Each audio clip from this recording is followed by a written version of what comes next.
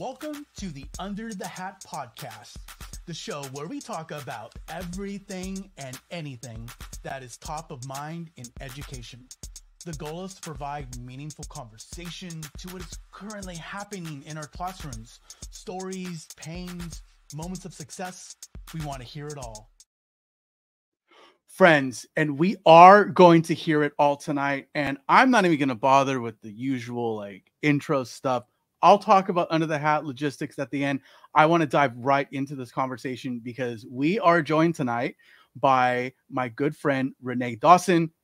She is amazing. She is a ball of energy that is really keen to have us learn tonight. So, without further ado, Renee, how are you?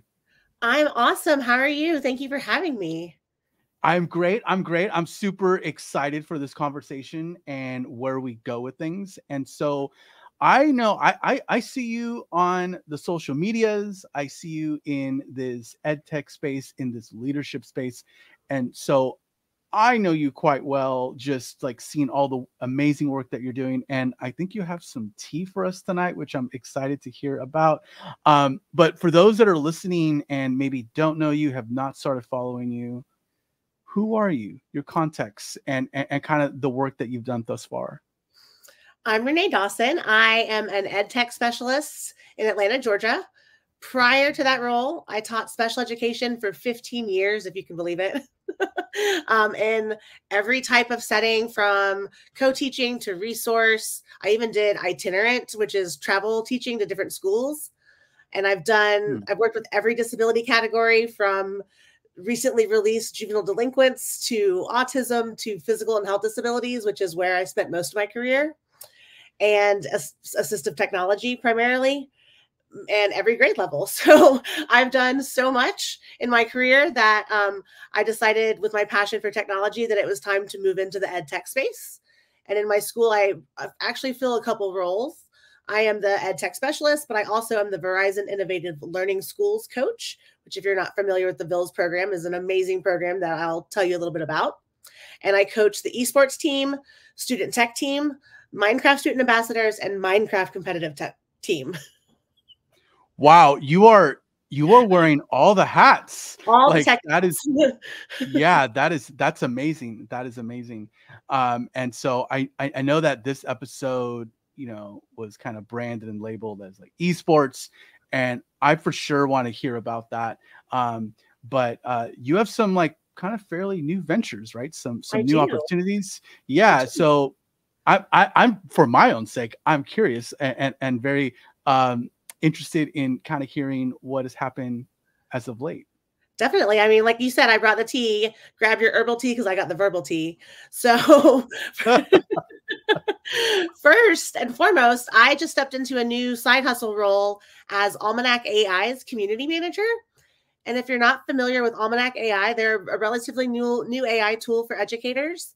And I love it because you can do everything on their platform from personalize an entire course that you can then fill with their AI resources to just building out a lesson with resources. So you can go big, you can go small. And then most recently, they just dropped AI report card comments, which I don't know if you in the classroom hated that job, but that was always like one of the hardest things for me to do was sit down and write report card comments for every single student I had in like different categories. So you can use their platform and AI to help you draft report card comments for your students. Okay. So I'm sorry. I'm trying to wrap my head around yeah. what what this does, right? So like when you said report card comments and when you pointed out that that pain, and I'll be yeah. honest, that pain, that uh, pain. I remember having to. So I, I had to do that in uh, in PowerSchool, right? So like my mm-hmm. district SIS was PowerSchool, and we had to we had to dump all those comments. And I remember it was a lot of the same, sometimes the same verbiage, or like it was the same, but I had to make it really personalized for this one particular student and family, which that was fine. But that does take a lot of time, right? Like that's like yes. like it's like another layer to the grading that I didn't realize until like right now. I was like, even though right. I did it.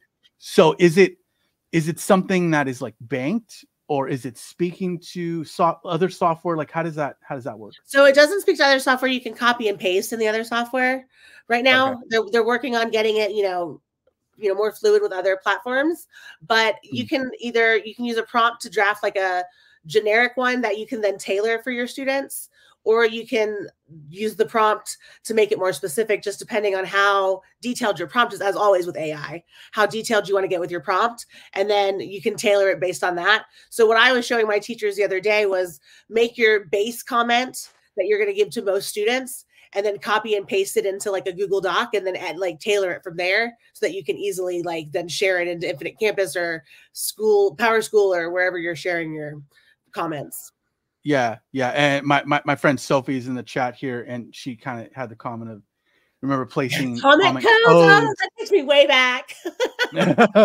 yeah, yeah, and and and because some of this, like some of this is like oh, no, not some of it, but like there there's there's a component to this that's like important with the law, right? Like making sure that we're documenting the right things for students mm-hmm. to make sure that we are providing the supports that that those that certain students need that those students need um, so yeah that that is huge in terms of solving a real need and solving a real problem you did mention though that there is a lesson planning component right? There's a lesson so, planning component and a unit planning, like a course planning component. So you could plan a whole semester with their tool, and then based on that, it gives you like a couple different options. Even like it gives you a basic lesson plan model option, or even the 5E model, which is great because we use 5E a lot at my school, and you can hmm. plan based on the 5Es and it gives you suggestions, YouTube video suggestions, slide prompt suggestions, stuff like that. You can pull their resource, their AI generative resources in. They have different resource generators into the unit plan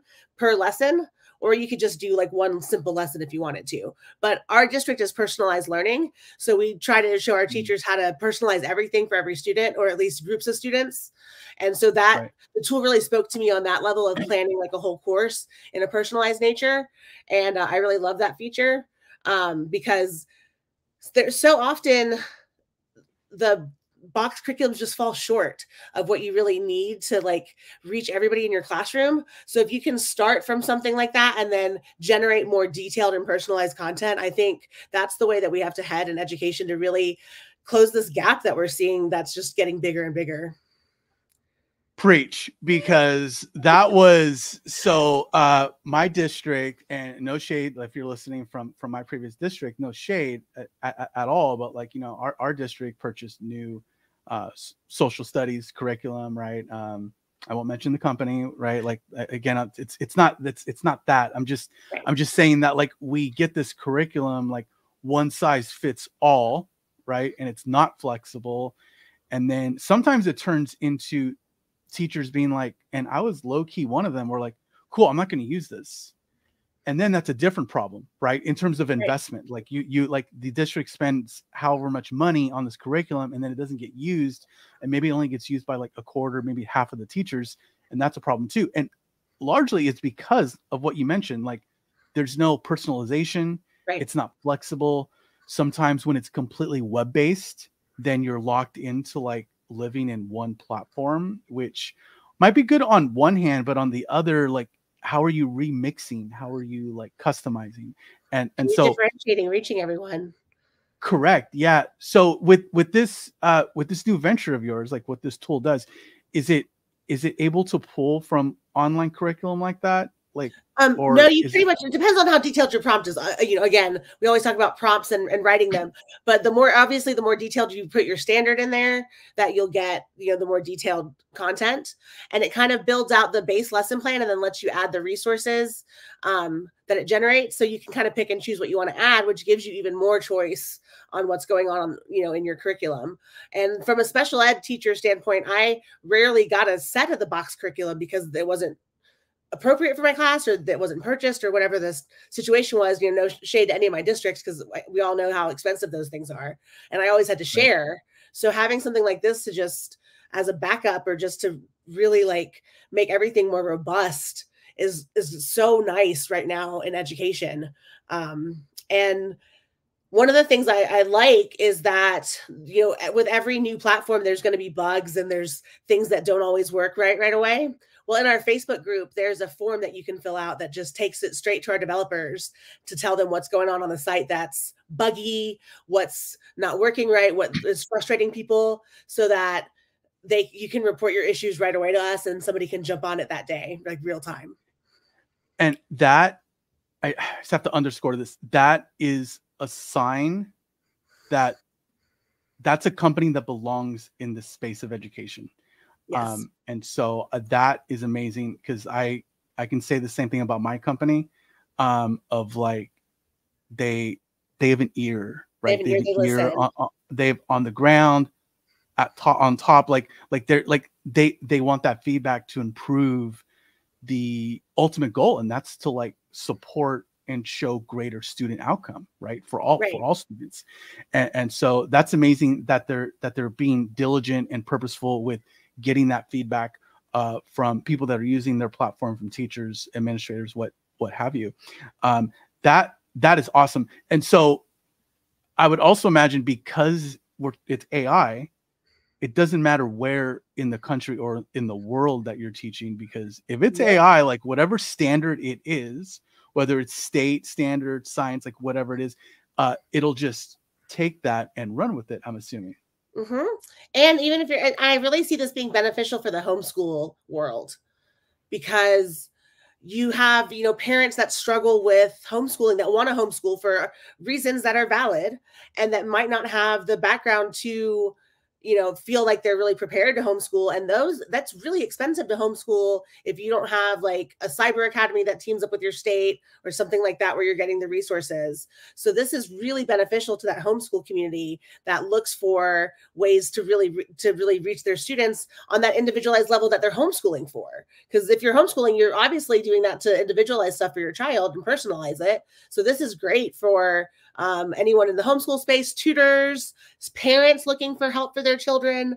Um, it's a great um, tool for anybody like that. Yeah, I, I also now that you mentioned that, I kind of I'm going to look into this a little bit more because now I'm teaching and working in a credential program.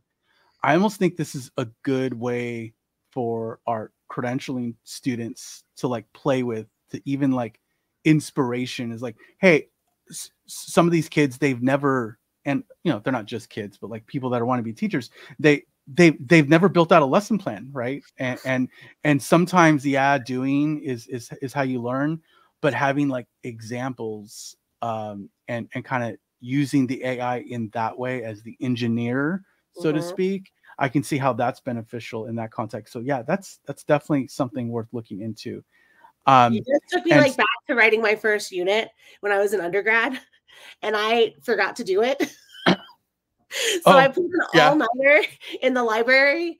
Made my two best friends stay with me all night and watch me write this ten day unit, and then they hated me because I got the highest grade in the class. and the teacher was like, "I can tell she took the entire semester to really build this out," and I was like, "No, it was like eight hours." hey you know when you got it you got it. Like and that's that's how that goes sometimes right? Um definitely didn't help my procrastination issues i was struggling with in college um but it worked out for me. Uh, they still right. throw shade at me for it too. That's great that's great. Um so uh i know renee like you have you have more tea. Um i, I kind of want to spread this out over the course of the hour okay like, yeah. uh, you know share that love. Um I would really like to get into this topic of esports because that, yes. that sounds like an area that you thrive in, that you've done. Like from my, understanding, you've built a program. My own district, uh, they rolled out like district wide program. Like I think they're in their second year. Um, I've I have lots of questions, but okay. um, because that's nothing like that's something that I didn't really uh, have the opportunity to really dive into when I was still in the high school classroom. So curious to hear your context, how you got started with it, and like what what outcomes, what benefits you saw as okay. a result of, of esports. Yeah, so the most important thing I always tell everybody when I present on esports or even have a conversation is I'm not a gamer. I haven't gamed since like Mortal Kombat was on Sega. Um, and like Super Mario Brothers was on Super Nintendo. Like Duck Hunt was like my jam. So that's how far back I go with gaming experience all of that is cool though. All of that is cool. Don't tell right. those were those were clutch. those like yeah, yeah. I had the running game too, where you could like run as fast as you could on the running pad, and your character was just like doo doo doo doo, like on the screen, just going and you're just breaking a sweat, going like just hard. Oh yeah. very slowly. But um, so I don't really have and maybe Guitar Hero. I think I played that like after college with my mom, like on Saturday nights. Um, because I lived with her.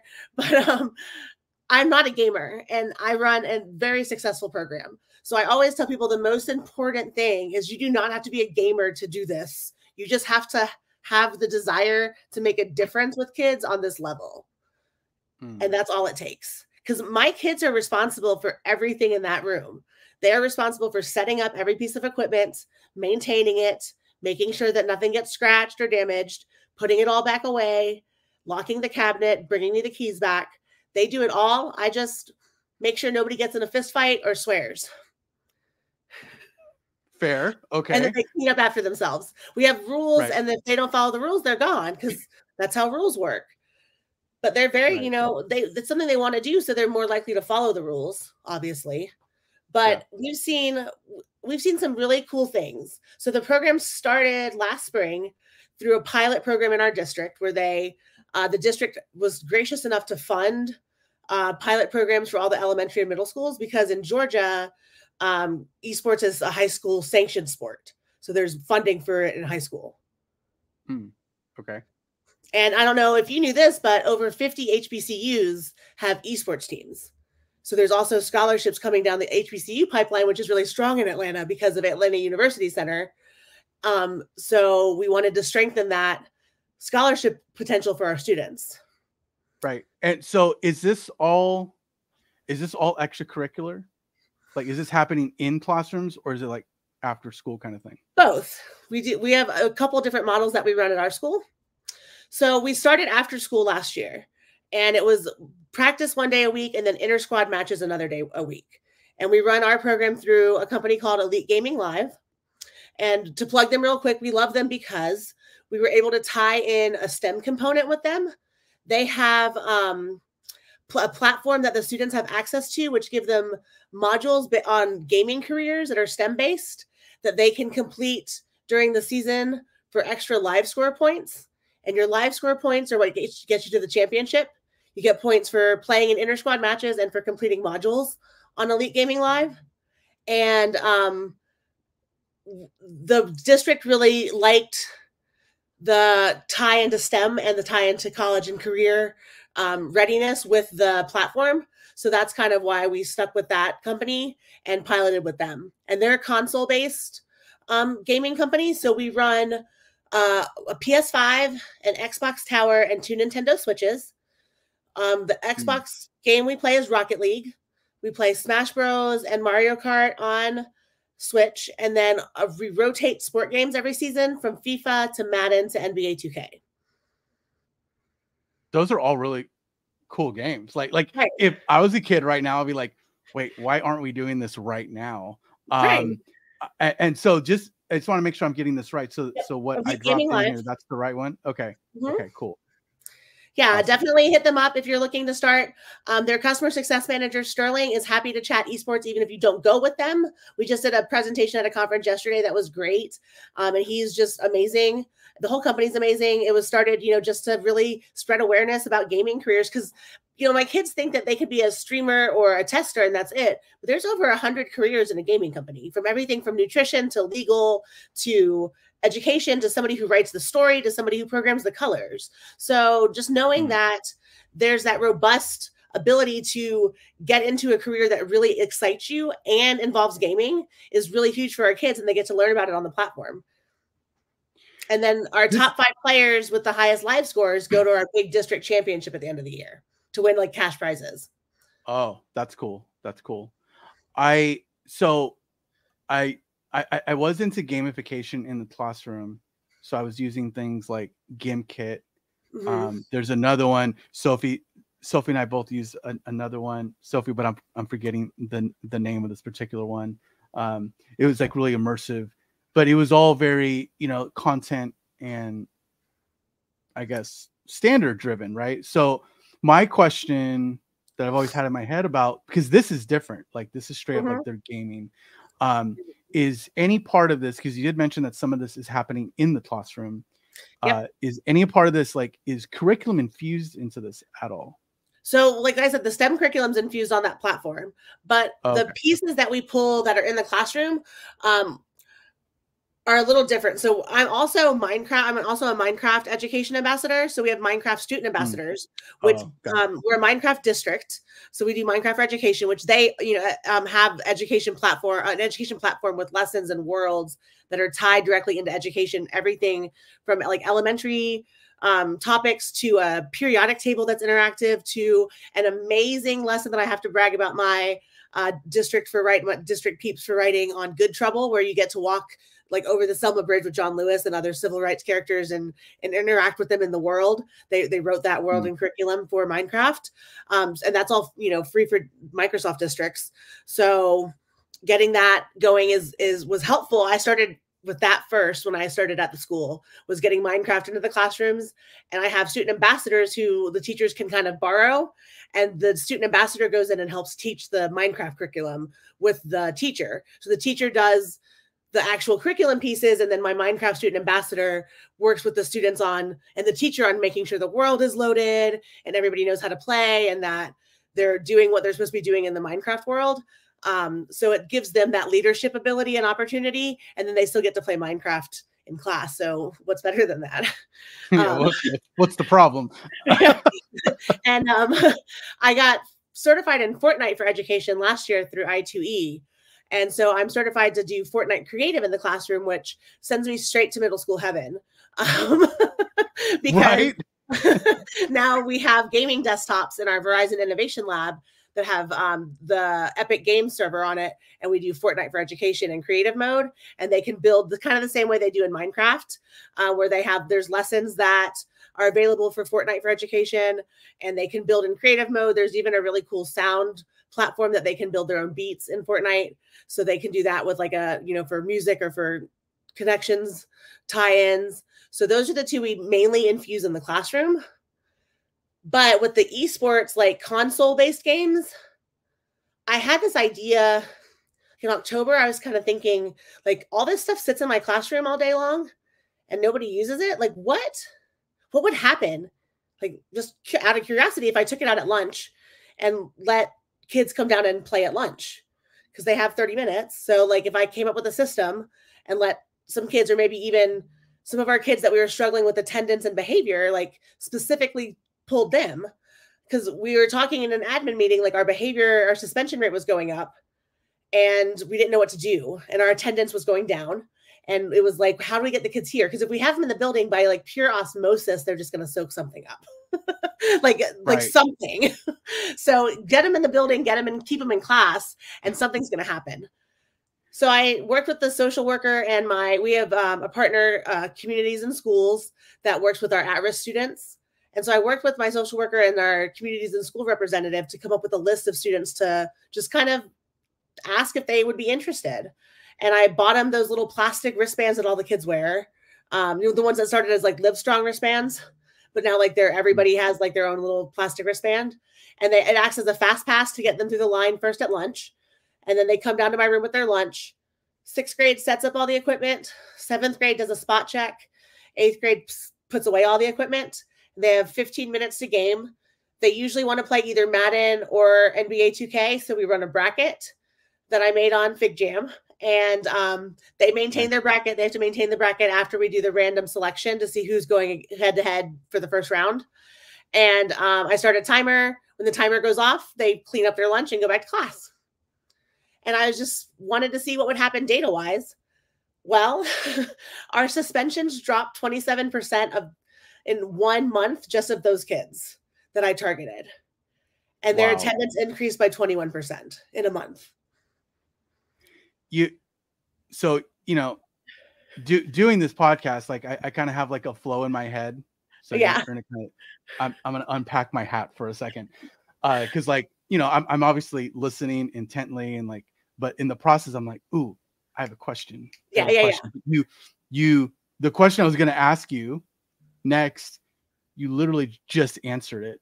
Um and because my question was gonna be renee what uh you know what were the student outcomes that you saw and perhaps like what data did you did you were you able to gather to Mhm. show like the effect size of this but Yeah, you just did that. That's that's that's amazing, yeah. especially for the students that don't feel heard, don't right. feel seen. That like good, bad, or otherwise, there's a system here, at least in our country, of like, you know, if you're an athlete, you you are you are in a certain light, right? If you are mm-hmm. a GATE student, you are in a certain light, right? And like so like oftentimes these students that do have these passions, that do have this voice, they they have they have they have something to say, but oftentimes they feel like they're not into the right thing or a part of the right group to do so.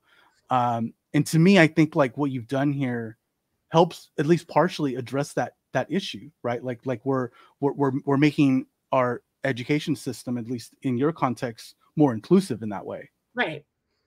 Yeah, I yeah. accidentally fixed a big problem. That's what I always say. Like, it was, I just like I accidentally fixed it. But um, you know, the, a lot of the students that want to participate in esports, you know, we have to have rules because it's a sanctioned sport. So a lot of the rules are like you have to be passing your classes and you have to have good behavior, and they might not qualify mm-hmm. to be on the team. But if I can at least give them that break during lunch to be a kid, because we don't have recess in middle school anymore. And I'm six through eight. So we don't have mm. that 20 minutes of recess where they get to just chill and be a kid. It's just constant class, class, class. And it's exhausting. So just giving them that 20 minutes to just be with their friends and goof off and have fun is huge for them. And, you know, even the ones that are still struggling in class and want to be on the team, I set up a Google Classroom for them and I assign them work and they they do it. Um, like on like at school, you know, after, after school at home, they're actually doing the work I'm giving them or coming to me for tutoring before or after school or asking for help if they're not playing the game at that time. So they're they're they want to be on the team they, they have a goal now which a lot of them didn't have going into this program was you didn't have a goal to be at school or any reason to be at school and now they do um, you know to be with their friends or they have friends for the first time. You know, we have a I have a couple neurodivergent students on the team that have never felt like they're a part of anything, and now they have friends and they have a team that supports them. And you know, one of our students who went the farthest in the tournament last year, his mom said he'd never been on a team before, and she was wasn't sure he'd ever have real friends or be on a team because of his disability and he now has this group of friends that were cheering him on at the tournament and just you know loud as can be and just always are supportive of him as he plays every week on the tournament and nobody wants to play him because he's the best at smash brothers and it's just such a cool feeling for that kid and, and to see you know to see the mom really like get like emotional about it was just huge for me because i was like you know i'm really making a difference with something I'm making a difference with a video game. how many, you know, how many people can say that a video game has really made a difference in their life? And I get to say that every day that video games make a huge difference. I get paid to hang out and play video games. for at least you know three hours a day. That is that that story about that student and about that mom like that is that is powerful. Like like that one family even even if the work and i know this is not the case but even if the work didn't really have that in, big of an impact on anyone else but it did for that family that is that is huge. And you should be really proud of yourself for Thank for you. for facilitating that um, for for them. That's that's amazing. I I often hear, well, I often think that sometimes people, leaders, teachers, like you know, educators like yourself, are like, cool. It would be it would be great to have like an esports program or or have some some sort of outlet for for for, for students like this. Um, oftentimes, you know, money, funding, uh, infrastructures is, is an issue. Uh, do you have any suggestions, pro tips of like how to get started with something like yeah. this, whether maybe it's the plot starting at the classroom level, school side, or even district level? Definitely. Uh, my suggestion is to start small. Start with one console. Start with Minecraft on a desktop. Start with Minecraft on a Chromebook or on an iPad. You don't have to play like the big name video games. You can start with Minecraft. You can start with Fortnite Creative. It's free through Epic. You can start with one console and one game and two controllers and a monitor. You can have a teacher bring their Xbox every Wednesday and let you borrow it. You know, you don't have to purchase one for school. Like one of your male teachers at school or female teachers has a kid at home that has an Xbox or a PS5 and they're not using it during the day. So maybe borrow it, take good care of it, um, buy them refurbished on Amazon. Um, just start small is the key because even if you just start with one you're that's still more than nothing. Most of my kids every day are gathered around the ps5 playing madden and i have three other consoles sitting there. But um so just starting with one is fine. Nothing is too small to start with is what i'm saying. Um and just build from there. If you want funding tie it into STEM with a program like Elite Gaming Live or some of the other ones out there. Um, the National Esports Foundation has a curriculum online that's free to download, um, and you can tie it into STEM. So you could use Title One or ESSER funding.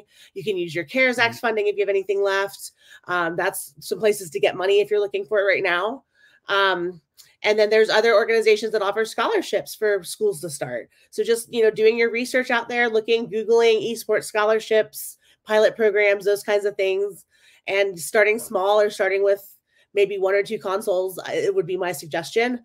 Um, my principal is a very visionary leader and saw the difference it was making and is investing a lot of money right now into creating the like top of the line esports lounge in our lab. And we're going to run like four ps5s and three xboxes and four switches and we're going to have wall mounted panels and gaming desktops and stuff like that with really cool furniture and that's you know what she decided to she's putting the money where the difference is being made where the data showing there's a difference. And i'm very thankful for that. I think i'm gonna like cancel my lease and just live in my esports lounge. Um so because it's gonna be that cool. Um so i'm really looking forward to that. But um yeah so just you know start small and build. You know there's no like there's no way that it's too small to start. And like i said i'm i always like louder for the people in the back. You don't have to be a gamer to do this I don't game. I don't play Madden or any of those like really intense games. I might get on and play Mario Kart every once in a while. And I'm a really sore loser, so it's like I act like Dale Earnhardt, like, come on, like bring it at me. like you gotta really like try hard. but um I I'll get down and play with the kids too. Like they love it. Like I even invite the teachers in at lunch or after school, like come and play with the kids. They would love to beat you at a game or like see have you so and then um, I also let the teachers rent me out for Fun Friday. They can like reserve their lab for Fun Friday if their kids or like earn an award, like or get like a reward for classroom behavior or passing a test or whatever the thing may be. They can rent space to come and let them play and game. And some of my teachers do that. Our eighth graders have a big tournament that ties into their um, eighth grade decathlon at the end of the year that I run for them. So, you know, just using it whenever you can is the just start small and do it. You can do it. Anybody can. Yeah. I can do it, anybody yeah. can. um that's awesome and that's super encouraging, right? Like um that like just everything you said, everything you stated, like whether it's like finding funding where it's at, um, scholarships, uh, stuff, stuff of that nature. It kind of reminded me, not to like go on a different tangent, but it kind of reminded me of like back in the day, we had uh Blockbuster, right? Where you can go rent, like if you didn't have like, you know, if you didn't have a PlayStation or a Sega Genesis, like you can just go, you can go rent it. Um, yeah. And, and, so too bad we don't have things like that. But yeah, thank you for sharing your uh, your insight on that and, and your experiences. Um, because I think a, a, lot of people out there um appreciate that and, and and will benefit from from that knowledge. Um, yeah, and a lot but, of the gaming stores like GameStop and some of those stores that are still around sell old consoles. Oh. Pawn shops are a great place to get them. Oh yeah, um, that's um, true. If you want to get like real like grassroots about like bootstraps, like go to a pawn shop. There's probably a PS5 there that's going to be cheaper than on Amazon. Um, you know, Best Buy has mm. refurbished stuff. Like a lot of companies do refurbished products, so those are a great place to start because right. the kids are playing it as long as it works. That they don't care if it's brand new or used. Yeah, I think I've turned one in over the last few years, like at a GameStop, right? Like yeah. that's that that's that's a really good point. Um, awesome, awesome. Well, Renee, I know that you have more tea, more excitement to share. Um, so what's the other thing? Tell us. Okay. So as lots of people who are on X or socials know, Jamboard is sunsetting into the offline era. And there's a really cool company that's kind of been pushing to replace Jamboard because I was a big Jamboard user during the my last year in the classroom, which was the year of COVID, the virtual year. I used hmm. Jamboard constantly with my students because it was a great tool and it was really just personalizable. You could put whatever you wanted to do on there and have the kids interact in real time. Well, Figma has a platform, FigJam, that they're using in education as an online whiteboard. Um, if you've used like Canva's online whiteboard or uh, Miro, it's similar to that. but they have gotten a group of 10 or so rock star educators together, including myself, to build out some education templates to offer for free to the education community. And it's templates from every for all kinds of things. I just did two that are exit tickets. One of them, um, I have a strange sense of humor and I really like being punny. Um, I called it "Come at Me, Bro," and it's an X-based um, template where the kids get to, in 170 characters or less, summarize their lesson and then create a, an X handle that is related to the lesson that they just learned. And it's you know interactive. They can upvote each other's responses or and comment on it and share what they want to share um, in real time with each other on this um, platform. So look on X and different social media platforms because we just went live today with the announcement of who we are and what we're doing. We're the inaugural cohort of edu creators for Figma for FigJam, and um, they're going to be sharing our templates um, pretty much starting now. And we're going to be sharing out what we're creating, and they're going to share them daily and weekly as we create. That's and cool. and, and 10, so we should have 100 when we're done. Oh, awesome. Yeah, like I, I, I just I just really appreciate that various different companies um like Figma, right, are are, are getting are getting educators like yourself involved, right? And and and and giving that opportunity because it, it looks like you're in a place where you are getting different opportunities right? Because of your talents because your experiences. Um, and so that's that's awesome and and amazing. Um, and and so as you as you continue on that journey uh, i'd be curious to hear more about it as it progresses uh, maybe have you back in season two or hopefully a season three right um, so that's that's super exciting um, we're we're at the point though of you know into the show where we this really the one question show, right? Um, even though I, I end up asking a bunch of questions. Uh, but so we, we, we talked about, you know, we just got done talking about your, your, your work with Figma. Uh, we got done talking about, um, you know, esports, your, your experience as a teacher, as, as an educator, the work that you've done in your district. And you've, you're seeing a lot, I'm sure, right, in your state and, and in your district. Um, but like, with all of that in mind, what is at the moment for you, like what is top of mind based on what you're seeing in education? What is under the hat for you? AI. That's my jam. And I'm sure lots of people say that, but I've been on the AI bandwagon from like back when I did assistive technology because it was such a game changer for some of my students who had physical disabilities, um, students that maybe were mm. nonverbal, students that couldn't use their hands and or could only use maybe a finger to do things. Um, just having those AI components were huge back then, but now with generative AI and the huge impact it's had on education, that's really where my focus has been for uh, the past few months. Obviously, joining Almanac was part of that. But I found out today that I am a top 20 finalist for Magic School's AI's Educator of the Year award. So that's right. Um, Yes. So that's really huge because uh, there are over 100 semifinalists and I made the top 20. So that's, you know, I'm flattered and honored and just shocked. But, you know, my work, especially with AI for student support, has been huge this year on the conference circuit, just getting teachers to understand like, let it help you with your students let it make that student's life a little easier let it make your life a little easier let it take something off your plate work smarter not harder is what i always tell my teachers mm. when it comes to ai um, so yeah generative ai has been like on the top of my mind for a while. I love it. I see the drawbacks of it. And definitely we already had a student bless his heart um, to go to chat GP, G, gpt and tell it to write a paper on a third grade level with multiple misspellings on a topic. because he knew well, he wrote it about a third grade level and he couldn't spell well. So he was trying to yeah. get it past the teacher, but it still didn't pass the snuff test because it was still way mm. better than he could have written. But he tried. He gave it. He gave it a try. so he gave it a go. Uh, it a try. I was like, you know, work smarter, yeah. not harder. I get that, but let's at yeah. least maybe let it give you the ideas and then you expand on the ideas. Maybe don't let it write the whole paper for you. Um, right. Let's compromise. but he tried. yeah, yeah. And eh, so how are um, how are teachers tracking that? Like, I'm just curious. Like, like so I always hear like, oh, oh, the cheating part of it, but I don't really hear like real accounts, right? So Right. how, how is that working out?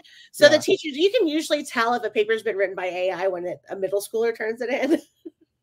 because they're like, I've had kids when I taught fifth grade, I had a student one year, bless his heart too, that just went on Google and copied like the little first couple of lines that Google gives you of everything that you search and then just pasted in a paper, but it's all different fonts. And like some of it's italicized and, and none of it made any sense. And I was like, what did, did you just copy like from straight from Google, like all the sources?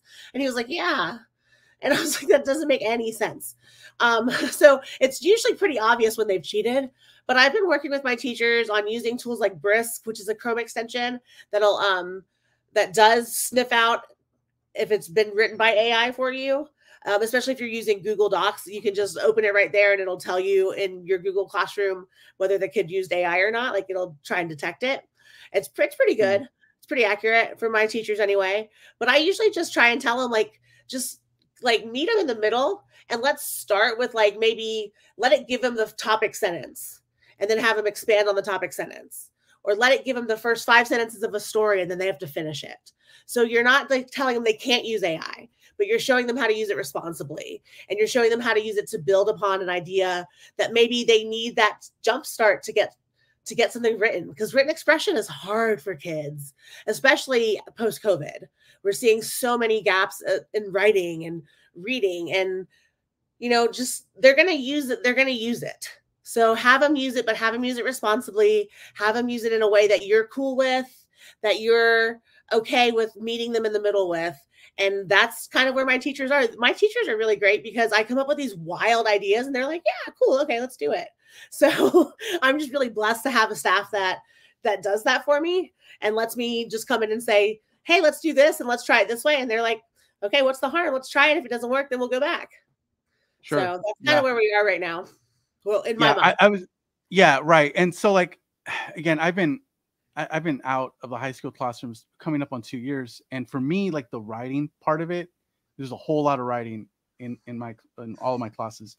And for me, it was more about like in the room, let's learn the process of how to construct the paper. And it did it did make it to where there was less cheating, right? Like because they're like, oh, we're all in this together and Mhm. do and doing things in a way that's also collaborative like that peer-to-peer feedback Mhm. um and like working through the outline part of it intro paragraph all that all that stuff at the time though you know there was cheating in the sense of like oh i'm uh i'm going to take the paper from his fifth period student and i'm going to try you know so um but at the time i did have uh, Turnitin i don't know if, you, if you've used that yeah um, I don't know if Turn It Turnitin has. I've heard nothing about updates from them, so like, I don't know if it believe is it catching AI. AI component already. I believe so. Okay, We I don't we're in a middle school, so we don't have it. But from what I think, what I've seen online, they do have something. Um, okay, but and I've like with my students, you know, um, Microsoft just did their reimagine education seminar like yesterday, I think, and they talked about Copilot being expanded, and I'm excited about that for my students because Mhm. Copilot at the very bottom shows you the resources right away of where it pulled the Right. information from. So I've been I'm hoping to be able to show my teachers like this is a great thing to use because it's giving the kids their sources and then they can judge whether it's accurate information or not if they're using it to write their outline or at least get information towards research for a paper. So hopefully Yeah. things like that will keep popping up that'll make teachers more comfortable using it. And then um you know it, it's it's it's a judgment call. And a lot of districts you know are blocking it totally right now. And I just feel like that's so that's that's tough because you know if you want your kids to be like global citizens really ready for the world and careers like ai is going to be part of their life. It could be their job. It could be part of their job. You know like i just um, saw a bunch of stuff on being getting certified as an ai prompt writer you know stuff like that like that's Mm. who would have thought that that would be a job like like i talk about like being a community manager you know the kind of the stuff that you do for Kami like did, in high school did you think that you'd have a job doing something so cool you know like when you think about being a teacher then you think about like managing a social community or being a social media manager that was not a, when a I was in high school, just to be fair, when I was in high school, I was this kind of kid. I was like, I, I was I was questioning whether or not I was gonna have a job. Um more or less like like do do what I'm doing now, right? Um yeah, no, that so because if you don't mind, let's go back. Really yes, back up. Yeah. Because you mentioned Copilot. Yeah. And so my understanding that's that's the Microsoft. That's the Microsoft one. All of that. And so I recently started playing with that. Uh, I was preparing for um, a PD that I was going to deliver um, with Kami, right? But like, uh, what I found interesting about it is that like that thing can mash up to anything because it's web based. So I was on accident. I was like playing in Kami in Microsoft Edge, and if you hover, like you'll be, you know, in Kami, you'll be doing things like with the dictionary tool, and that and that's and that's cool. But like, and then the little Microsoft icon popped up, and then Copilot was just there. I'm like, wait, I have Copilot and Kami all in the same like in the same environment on the same document. And I was like, ooh, this and that's what I think is cool about what Microsoft is doing is like that thing can go on top of any platform if I'm understanding it correctly. Mm-hmm. And I actually on my iPhone, uh, one of my one of my friends uh, that I know through my HP fellowship, Nick Shiner, he showed me how to make my side button on my iPhone Copilot. So when I hit my side button now, Copilot comes up on my phone, on my iPhone. Wow, that's that's pretty cool. That's yeah. pretty cool. I, yeah, and then in terms of like the cheating component of it, and R- Renee, correct me if I'm wrong, or may- maybe you, maybe you disagree, but like, what's the difference between a student cheating from AI versus cheating from another student? Right. Like I mean, at the end of the day, it's the same thing. Right. I feel like I feel like it's the I guess the one the one difference is it, it's a lot faster to do, right? And cheaper. you don't have to pay not, um what are those the, the professors that that that website, the collegeprofessors.com or whatever it is to write your paper.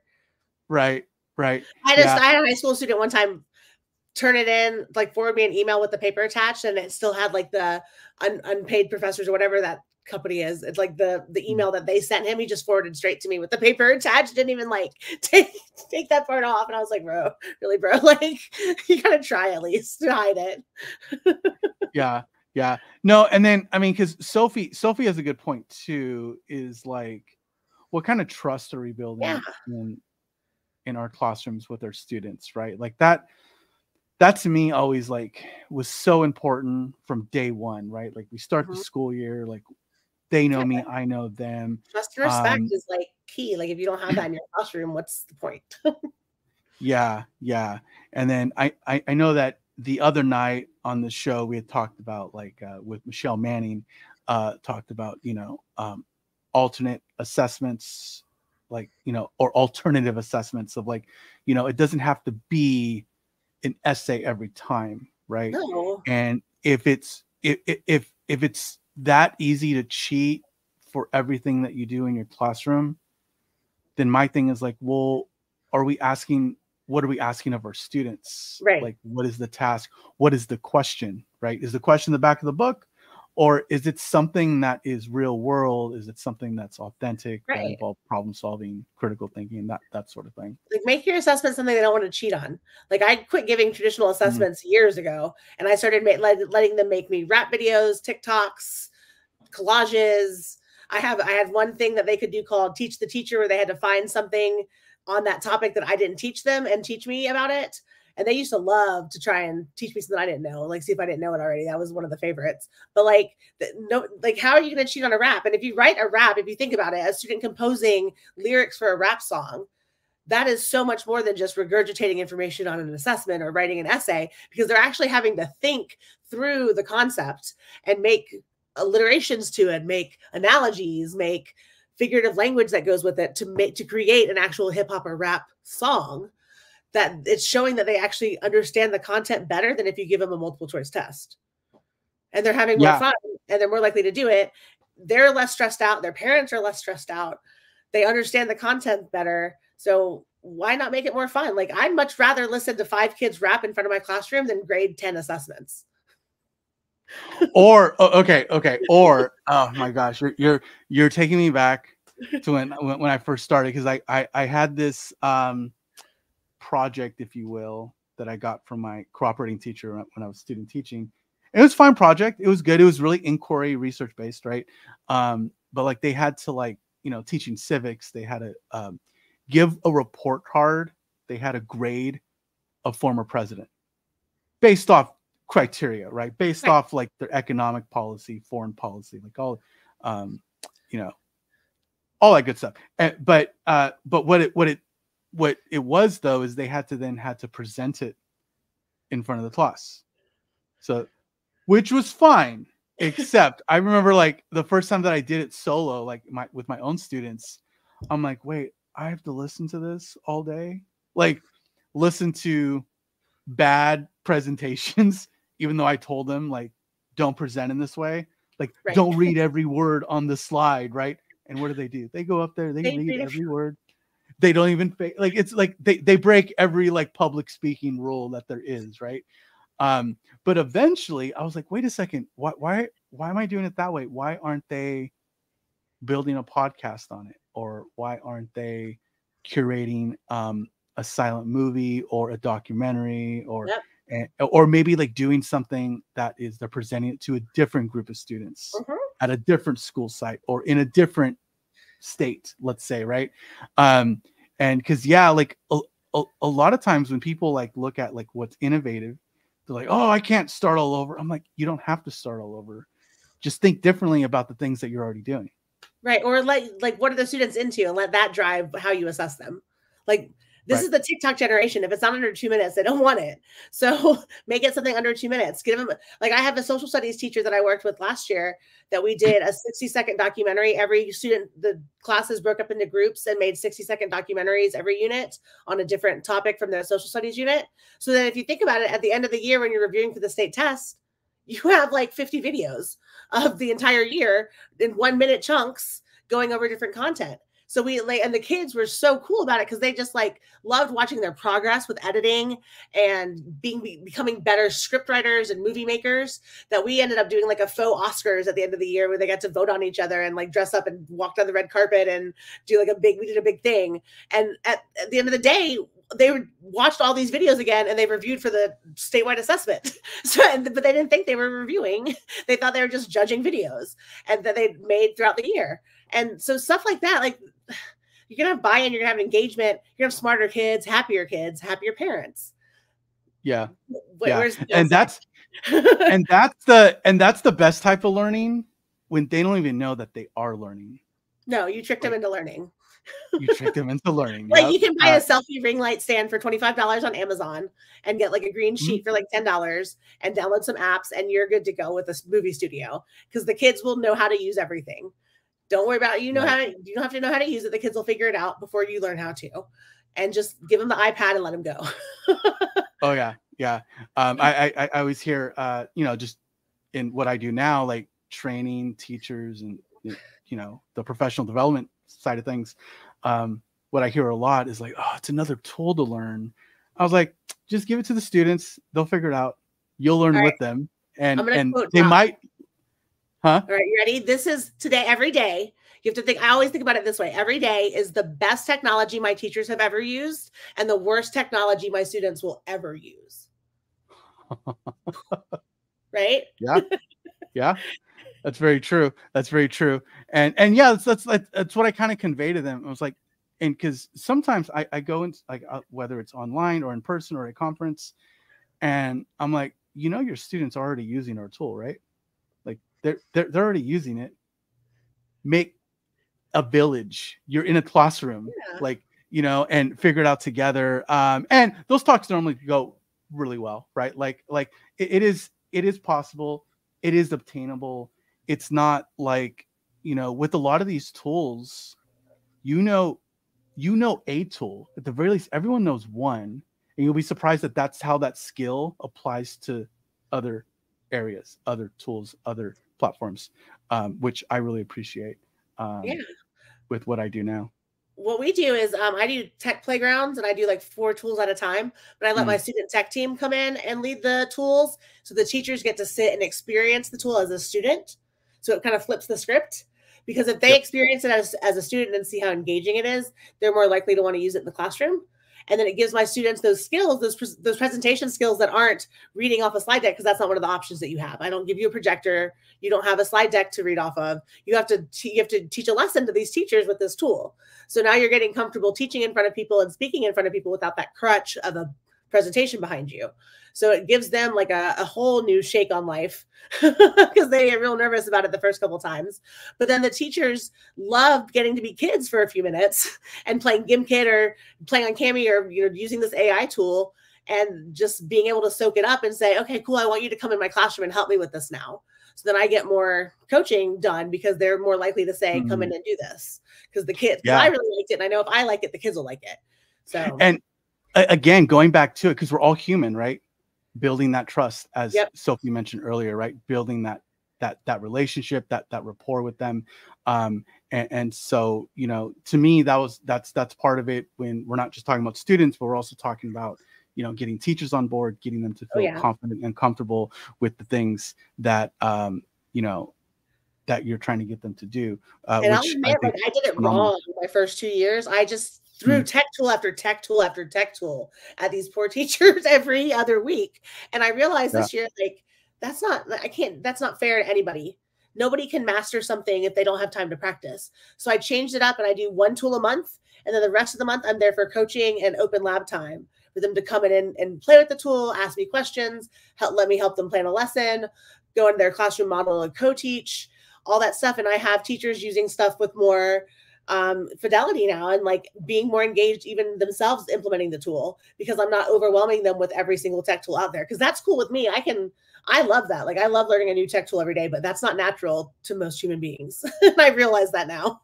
No and no that was a realization for me too. I was just like wait not not everyone likes playing the way that i like to play right, right. um i what i love doing because earlier you mentioned like putting the teachers in the seat of the student, right? Um, what I love when when I do that, when because that's basically any like session that that I give, I, I give them that experience like, like you're talking about, is showing them the classroom management stuff of some of these tools. It's like, oh, I took all the tools away from you. And they're like, yeah. no. And, and and so getting them to like showing them how effective it is, what it feels like on their end. Um, and that also brings up kind of different situations of how you personalize things, right? Like like the classroom management stuff is not just for the behavioral stuff, it's also for managing an environment that is inclusive, that makes sense for various different students, right? And for various exactly. different needs. Yeah. Um, love it. Renee, this has been super fun. Um, I hope you've had fun. Yeah. I yeah, I I hope we do this again. Uh this show's open door yeah, this show's super open door uh, for anyone within reason to be on. Um, and and and so um, thank you for sharing everything that you shared tonight. I I you you like we mentioned at the very beginning, you wear many different hats for the people that you serve. Um, and and as a result you have different insights different skill sets right? Like you're not like mm-hmm. like sometimes for me he's like oh steve's the project based learning dude. Um and so like you you have like this wide spectrum like these like these different um experiences that that that you have to share with people. So we really appreciate it. I um, appreciate you letting me share. And yeah. all the tea yeah. And yeah appreciate all the tea. And congrats on all that by the way. I, you. I you know like like anytime that has and continues to happen to me, I celebrate whether it's with my family and with friends. Um, and, and, so just congrats on that. Thank you. If anybody has follow-up questions or maybe wants to reach out to you for support, where can they find you? What's the best place? Hit me up on X at APS ITS Dawson. That'll be that one right that there. That is where I, yeah, that's where I'm that's I'm always constantly on there sharing the good the good stuff too. So look, you know, follow give me a follow. I'll follow you back and uh we can chat. yeah. Yeah. And I I just so everyone knows, like so Renee, just by experience, like seeing seeing Renee online, super accessible, right? And, and so kind of what she just alluded to right now, but like you follow her, she will follow back you hit a DM, you'll hear back. So uh, please reach out. I try to do the same, right? Um, I'm, I'm we're, we're not trying to be these people that are somewhere in the No. in the interwebs. Uh, we're, we're super accessible. Um, and as far as me, uh, feel free to continue to you know reach out on under the hat pod that's what that's the twitter goodness if you want to go to the website itself underhatpod.com that's where you'll find all the links the social links that's where you can catch all the episodes. Um, and and uh, if you if you do want to be a guest please hit me up at under uh, underhat pod underhatpod.com um, and we'll be sure to get you on.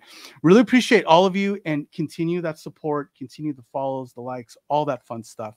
Um, i'm here for it. I'm here to learn with you and to have a good time. And friends it's it's five o'clock my time so it is time to get going with the family, enjoy my time there. You all enjoy the rest of your evening and the rest of your Thursday, possibly Friday, depending on where you are in the world. And as always, friends, keep your hats on, but your minds open. And we'll see you next time. Thank you. Bye.